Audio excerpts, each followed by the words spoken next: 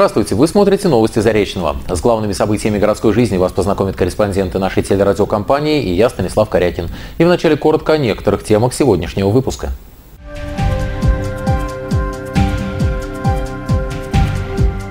Бесплатное жилье и крытый бассейн мирового уровня. Мэр Заречного проинспектировал стройки социально значимых объектов. Мы идем по графику. Претензий э, у подрядчика по оплате по взаимодействию с управлением капитального строительства нет. В Заречном все спокойно. Межмуниципальный отдел МВД России подвел итоги работы за 6 месяцев 2016 года. За первое полугодие зарегистрировано 261 преступление, что на 2,6% меньше аналогичного периода прошлого года. По области наблюдается небольшой рост, в том числе и по Пензе. Юнзары вернулись. В загородном лагере «Звездочка» завершилась лидерская смена детского общественного движения. Мы не просто отдыхали, мы еще и учились а, быть настоящими истинными лидерами. Я думаю, что у нас это отлично получилось. И теперь об этих и других новостях подробнее. Очередная партия протоколов составлена участниками межведомственного рейда по проверке соблюдения городских правил благоустройства. Напомню, в нашем городе запрещено парковать автомобили на территориях, не имеющих искусственного покрытия. Штраф за такую стоянку варьируется от 500 до 5,5 тысяч рублей. Однако и это не останавливает зареченских автовладельцев. Из очередного рейда репортаж Александра Абаимова. Бордюр машине не помеха. Для некоторых зареченских автолюбителей это не просто слова, а жизненное кредо. Во дворе дома номер 34 по улице Заречной сразу несколько владельцев машин посчитали, что газон вполне пригодное место для парковки их транспорта. Однако с этим не согласились участники рейда по выявлению правонарушений, связанных с парковкой автомобилей на внутриквартальных территориях. Дворно-заречные организаторы проверки посетили не случайно. Мы ходим по жалобам жителей в первую очередь. То есть э, в дальнейшем будут рейды по поступлению.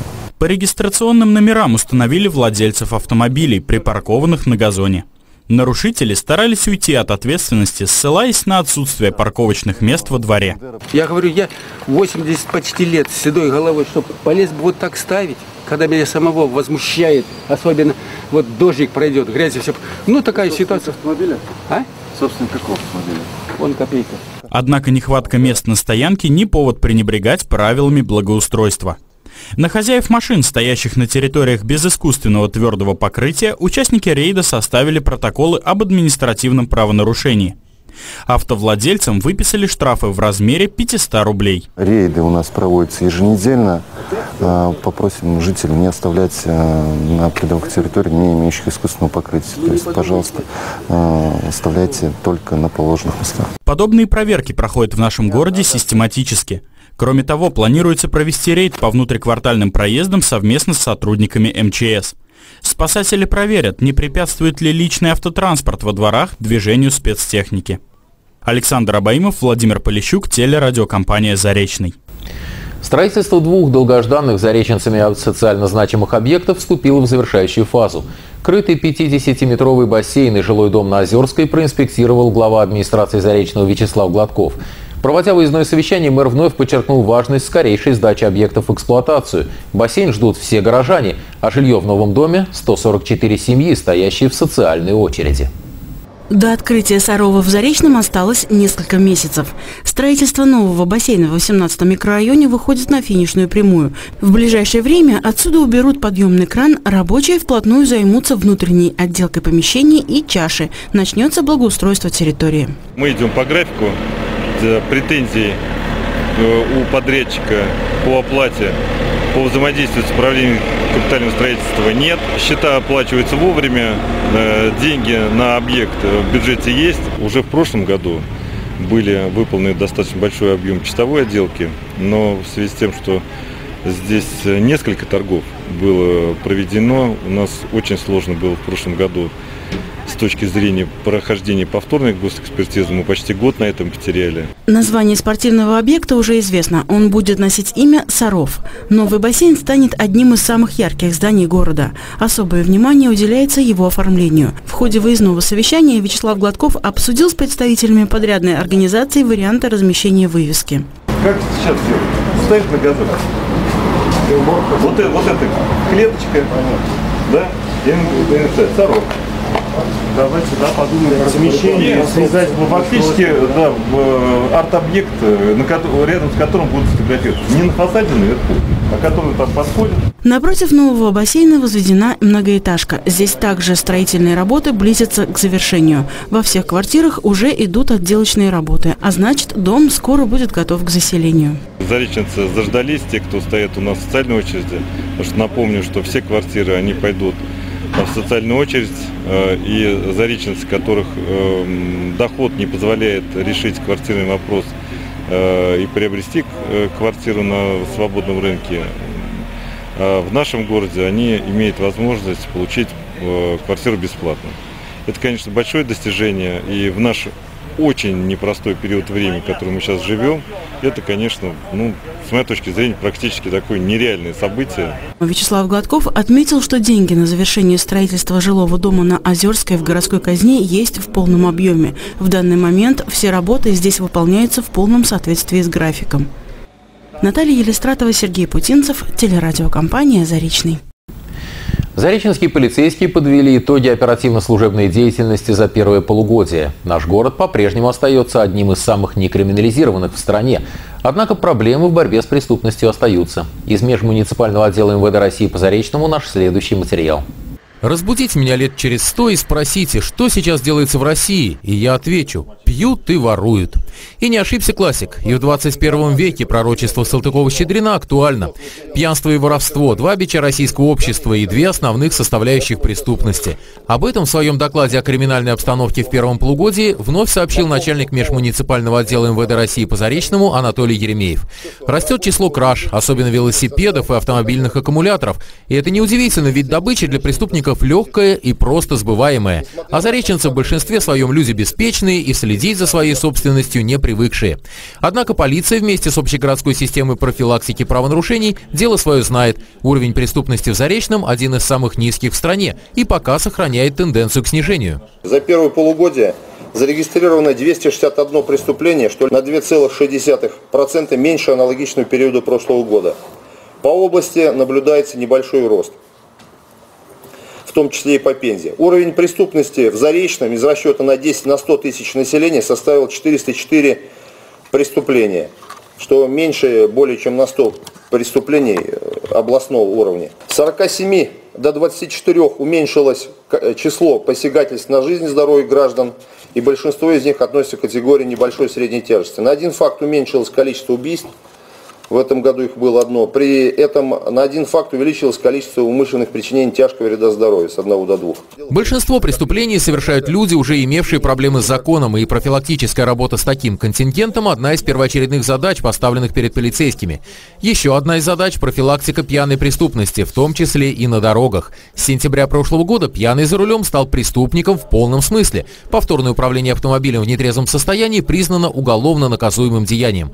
По этой статье в первом полугодии Якутии возбуждено 17 дел. Всего же полицейские задержали 136 пьяных водителей, но в целом обстановка на дорогах Заречного улучшается. Дорожно-транспортная обстановка в городе характеризуется сокращением на треть количества дорожно-транспортных происшествий с пострадавшими с 19 до 13 фактов. Числа раненых из них людей с 22 до 15, отсутствием погибших.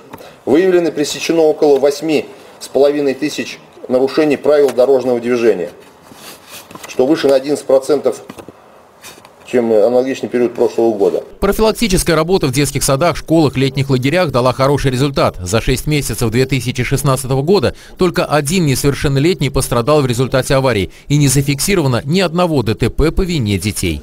Станислав Корякин, Денис Дубицкий, телерадиокомпания «Заречный». Подробнее о криминогенной обстановке в городе и задачах, поставленных перед полицейскими, мы поговорим с заместителем начальника полиции по охране общественной безопасности межмуниципального отдела МВД России по Заречному Михаилом Усановым. Интервью в студии сразу после рекламы, а пока к другим новостям. 100 зареченских школьников осваивают рабочие профессии в лагере труда и отдыха. Первые трудовые навыки, а вместе с ними и первая зарплата – хороший стимул провести каникулы не сидя у компьютера, а в лагере «Траектория», убедилась Ксения Тризна. Заказ для градообразующего предприятия выполняют юные токари в лагере труда и отдыха «Траектория». Конечно, дети работают не над продукцией для ядерно-оружейного комплекса, но тоже делают важное и порой просто необходимое для производственного объединения «Старт» оборудование. Скрепки. Обыкновенные скрепки, чтобы скреплять папки. Папки никуда не деваются, их все больше и больше становится. Потом их они скрепляются в архив, скрепляются в архив. Работают прекрасно. Во второй смене в лагере работают и отдыхают 100 детей. Каждый из них выбрал для себя специальность – столяр, токарь, швея, делопроизводитель, разнорабочий или вожатый. Последние трудятся в детских оздоровительных лагерях. А на базе Центра образования и профессиональной ориентации форменные рубашки для вожатых делают юные швеи. Пока они работают с тканью. Раскроить, погладить, раскроить, потом уже сначала все размерить, раскроить и сшивать. Ну и сколько вот это времени приблизительно занимает? Ну, часа три-четыре. Лагерь труда и отдыха пользуется популярностью среди зареченских детей. Здесь есть те, кто приходит в Центр образования и профессиональной ориентации уже не в первый раз. Ну, даже здесь хорошо. Здесь обучают очень хорошо. Столярному делу. А почему ты выбрал именно столярное дело? Ну, не знаю. Приятно работать с деревом. Дети обучаются азам профессии, приобретают навыки. Но они не только узнают новое, труд ребят оплачивается. У них заработная плата будет как у настоящих работников, которые официально трудоустроены. Ну, это будет 4 с небольшим тысячи вместе с налогом 7%, как у любого трудоустроенного работника. Дети трудятся неполный рабочий день, 4 часа. Каждые 45 минут они делают перерыв на четверть часа. Таково требование трудового законодательства. Смена в лагере труда и отдыха продлится до 30 июля. Ксения Тризна, Владимир Полищук, телерадио, компания «Заречный». Юнзары вернулись домой. В загородном детском оздоровительном лагере «Звездочка» завершилась вторая, лидерская смена. Чему научились и как отдохнули, ребята рассказали нашему корреспонденту Александру Абаимову.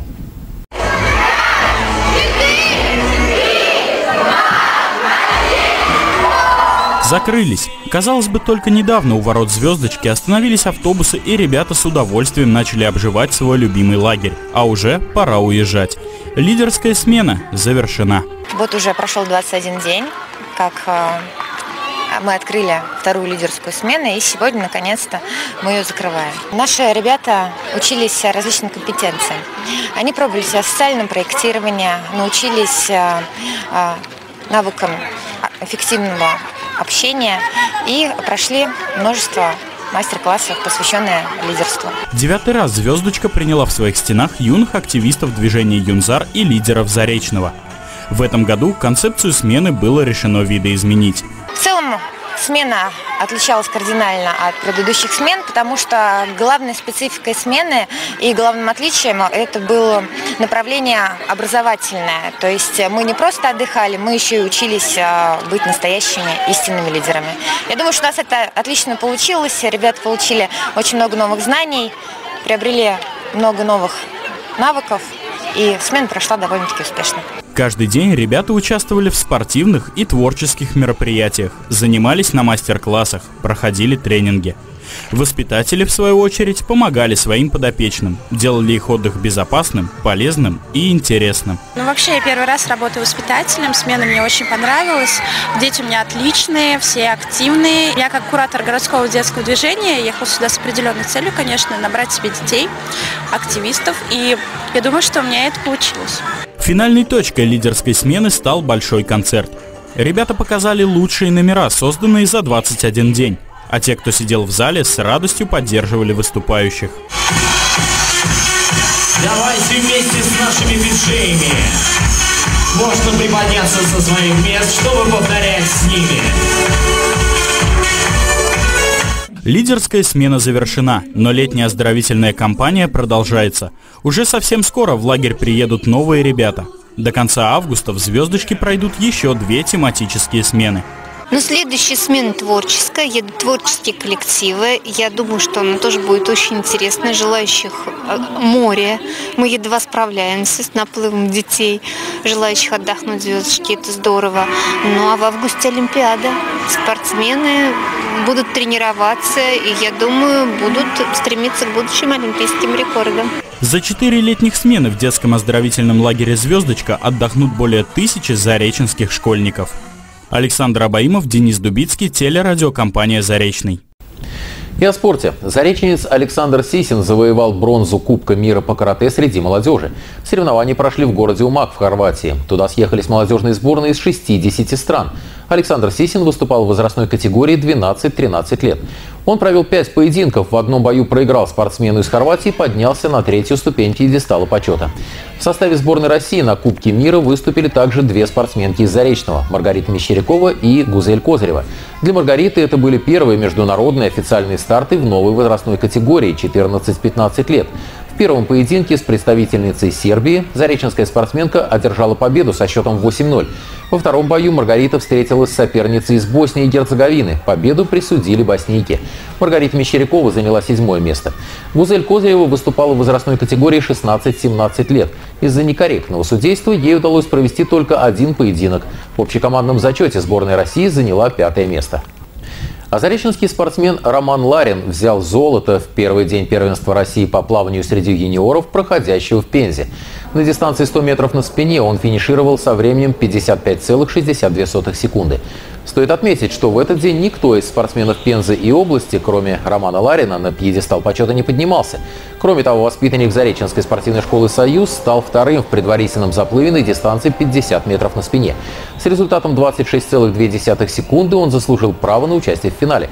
А значит, у него есть все шансы стать обладателем еще одной награды первенства России. Болеем за Романа Ларина. Как не стать жертвой мошенников? Почему не стоит оставлять велосипеды на лестничных клетках? Что грозит водителям за пьяную езду? Об этом и не только сразу после короткой рекламы. Не переключайтесь.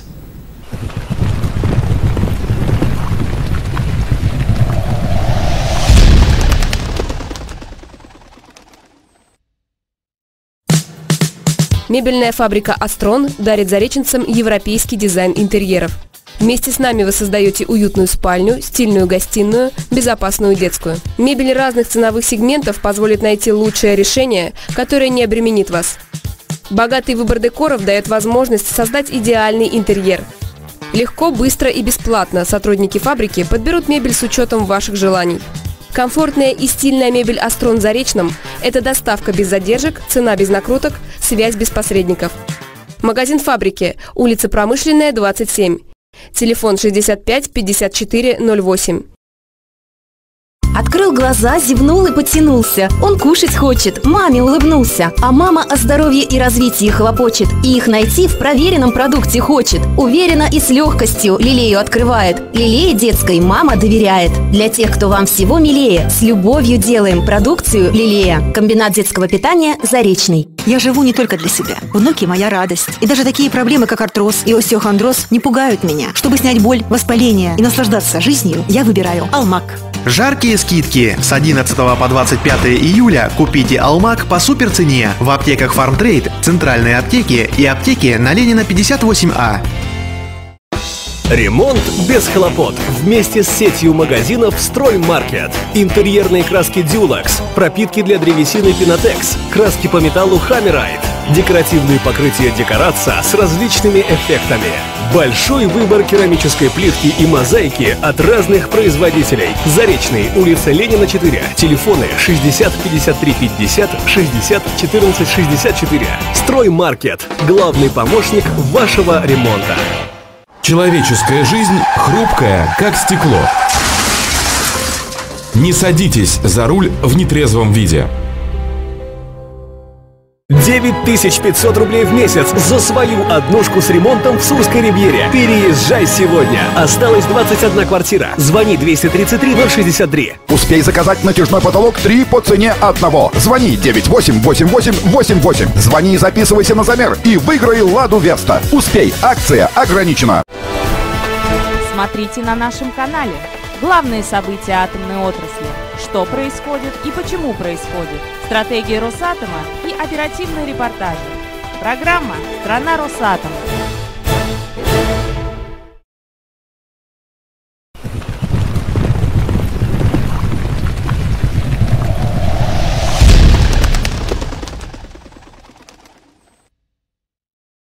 Новости Заречного в эфире. Я напоминаю, что сегодня у нас в гостях заместитель начальника полиции по охране общественного порядка по городу Заречному Михаил Усанов. И мы говорим о состоянии преступности в первом полугодии 2016 года. Добрый вечер, Михаил Вячеславович. Добрый вечер. Итак, Михаил Вячеславович, э, подведены итоги оперативно-служебной деятельности отдела и итоги о состоянии преступности. Ну, вывод понятен. Пока, пока у нас Заречный остается одним из самых декриминализированных городов в стране вообще. А, одним из самых спокойных. И все же, какие выводы были сделаны руководством вашего отдела, руководством управления МВД России по Пензенской области? Какие задачи поставлены на следующее полугодие? Ну, нашему отделу дана оценка, наша ведомственная оценка по итогам деятельности за 6 месяцев текущего года. И на дальнейшую часть года поставлена задача, ну это в частности у нас в последнее время захлестнула волна хищения велосипедов. Угу. Также не прекращается у нас э, мошенничество, совершенное путем сотовой связи, интернет-мошенничество, хищение денег с банковских карт. В общем, дальнейшая задача – это раскрытие данного вида преступлений, предупреждение данного вида преступлений, потому что, как ни говоря, а люди у нас зачастую сами провоцируют преступников на совершение подобных деяний. В частности, велосипеды часто бросаются на улице непристегнутыми, то есть без какой-либо охраны, что в какой-то мере провоцирует на совершение данного вида преступлений. А, Михаил Вячеславович, насколько я понимаю, наибольшее количество преступлений из общего числа – это кражи. Да, это из года в год, оно так и есть. Кражи. Радует то, что кражи это ну, наши так называемые первые части, то есть кражи не тяжкие. Что воруют? Да воруют практически все. Сотовые телефоны, велосипеды. В большей мере в последнее время просто захлестнуло. Это велосипеды. А, удается ли раскрыть вот такого рода преступления? То есть вот эти вот кражи, кражи велосипедов в частности. Вы говорили о том, что их очень много, этих краж. Сколько вот э, было разыскано велосипедов, сколько было задержано тех, кто воровал эти велосипеды. Каковы итоги работы? Ну, скажу так, из количества похищенных велосипедов установлены виновные лица, не установлены виновные лица всего лишь в четырех случаях. Так что нам удалось найти виновников. К сожалению, все велосипеды похищенные найти не удалось, так как они были уже сбыты на территории города Пенза. Ну, то есть э, воруют то, что плохо лежит, как всегда у нас, да, воруют то, что плохо лежит, и то, что легко продать. Именно. Спрос рождает предложение. А, воруют кто?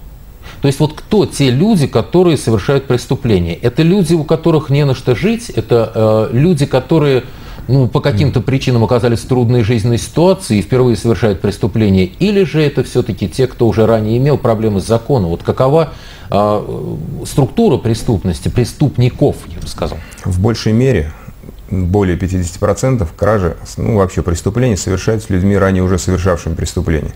С одной стороны, конечно, это плохо в плане того, что эти люди, то есть нам не удается с ними провести до, достаточную профилактическую работу, чтобы они встали на путь исправления, чтобы они влились в нормальную жизнь в обществе. С другой стороны, не может как бы не обращать на себя внимание тот факт, что у нас в структуре преступности не появляются новые лица угу. а остаются все те же, которые уже известны, с которыми сразу проводится работа и которые моментально, ну, сразу после совершения преступления попадают в наше поле зрения. То есть это вот э, те самые джентльмены удачи, о которых говорил герой одноименного фильма, украл, выпил в тюрьму, да? Ну, я бы не сказал, не назвал их джентльменами удачи, потому что на джентльменов большинство из них даже не тянет внешне. Но принцип такой, да, то есть он украл, выпил в тюрьму, возвращается, опять украл, выпил в тюрьму. Ну да, эти люди не задумываются о завтрашнем дне, живут одним днем, то есть э, то, что плохо лежит, они подобрали, быстро продали, ну и, соответственно, пропили. А, скажите, пожалуйста, а каким образом можно все-таки предупредить вот такого рода кражи? Я не знаю, как еще. Неоднократно мы с вами встречались здесь и с вашими коллегами, э, говорили о об этих самых злополучных велосипедах, злосчастных, которые воруют отовсюду. Все равно, каждый день иду домой, подхожу к подъезду, и я вижу все эти велосипеды у каждого подъезда, у каждого магазина, у каждой школы, везде. Могу сказать так, что неоднократно гражданам города уже обращались с просьбой, скажем так, с предложением убрать велосипеды с лестничных площадок, с мест легко доступных для преступников. Ну, могу сказать еще также, что мы со своей стороны можем влиять на людей другим способом. Данные велосипеды, находящиеся на лестничной площадке, загромождают путь эвакуации. И участковые полномочные сотрудники полиции, осуществляющие охрану общественного порядка, имеют право собрать материал проверки и направить его в, пожарную, в службу пожарной безопасности, которая имеет право составить административный протокол на владельца данного велосипеда, и штраф там составит 5000 рублей. То есть уже э, не просто уговорами, чтобы люди как-то следили за своим имуществом, но еще и рублем наказывают. Да, данные люди, которые бросают свой велосипед на лестничных площадках, фактически совершают административное правонарушение, которое наказывается штрафом. Михаил Вячеславович, и еще одна проблема. Мошенничество не прекращается. Все новые и новые формы, и старые, и уже, казалось бы, хорошо забытые старые. А мошенники не брезгуют ничем? Мошенничество профилактировать очень сложно. В большинстве, своем, в большинстве случаев мошенники каким-то вот чутьем внутренним попадают на человека в тот момент, когда он меньше всего ожидает вот этого звонка. И даже если человек об этом уже был осведомлен, знал, и тем не менее потом у него срабатывает некая как будто программа. То есть вот он когда загружает последнюю купюру в банкомат, у него, он осознает, что его обманули. А до того времени человек постоянно держит на телефоне, ему постоянно говорят, говорят, говорят, отвлекая его внимание от основной проблемы, до тех пор, пока он не выполнит требуемую операцию. Поэтому Но... хотелось бы обратиться не только к гражданам, которые могут поступить, которым такие звонки, а гражданам, которые увидят, что человек данный подошел к банкомату и загружает в него деньги. Допустим, не, не обычную сумму 100, 200, 300 рублей, а много. Подойдите к такому человеку, остановите его. Ну, не знаю, насколько прислушиваются к вашему совету наши зареченцы, а, но есть еще ведь одна проблема, не только телефонные мошенники. Все больше и больше интернет-мошенничества, покупки, продажи через всевозможные сайты. Но здесь хотелось бы обратиться к гражданам, чтобы они не диктовали незнакомым людям, которые на другом конце провода ну, или на другом конце земли, можно сказать, находятся, номера своих банковских карт, что зачастую делают Потому что все списания с банковских карт путем э, таких интернет-мошенничеств происходит после того, как наши граждане легковерно, легкомысленно диктуют номера своих карт. После чего совершается покупка на эту карту через интернет-магазин. И потом уже крайне сложно найти виновника. Есть какие-то э, случаи, факты мошенничеств, с которыми вы столкнулись, вот скажем, в этом году впервые? Да нет, пожалуй, в этом году у нас уже мошенничества все были абсолютно уже известны, новых мошенничеств не было. То есть все, о чем мы и вы постоянно говорим, это все одно и то же, и все равно люди продолжают покупаться на это. Продолжают, к сожалению, продолжают. И э, еще одна тема была затронута сегодня на совещании – это безопасность дорожного движения. Статистика вроде бы неплохая – то есть на треть у нас, насколько я понимаю, упало количество дорожно-транспортных происшествий с пострадавшими. Это достаточно серьезный такой показатель. И все-таки, проходя вечером по улице, проходя, особенно вечером, ночью, вы наверняка сталкивались неоднократно, это, мягко скажем, малоадекватные водители, малоадекватные пешеходы, которые все равно нарушают правила дорожного движения, и э, пьяные – ну, по поводу вождения в пьяном виде, действительно, в этом году уже возбуждено 17 уголовных дел по статье 264 прим. 1 Уголовного кодекса. Это за повторное вождение автомобиля в пьяном виде после того, как данный человек был уже лишен права управления за угу. вождение в пьяном виде, либо отказ от освидетельствования. Хотелось бы обратиться к гражданам, которые наши совершенно не задумываются о последствиях, что повторное вождение, да и вообще вождение, мало того, что они подвергают опасности жизни людей, свою и посторонних, они также в результате могут получить судимость. И дальнейшие их какие-то возможности, устройства на государственную службу, угу. и для их детей уже это будет проблема. То есть это вот те самые, они автоматически могут пока не задумываясь об этом, попасть в ту самую категорию, о которой мы говорили чуть выше, да, вот те самые, которые, э, мягко скажем, люмпины, э, который украл, выпил в тюрьму. То есть они уже будут судимостью. Они будут судимостью. Это уголовные наказуемые деяния. И перспектив в будущем у них э, значительно сужаются. В своих правах они будут ограничены. Ну что ж, Михаил Вячеславович, конечно, много еще можно говорить о проблеме преступности, о том, как же все-таки бороться всем вместе нам с этой бедой. Но, к сожалению, время нашего эфира ограничено. Большое вам спасибо за участие в нашей программе. Спасибо вам за вашу работу и за то, что Заречный по-прежнему остается самым спокойным городом страны. Спасибо.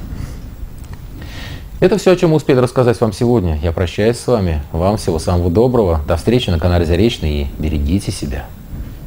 Спонсор прогноза погоды – компания «Ремстрой».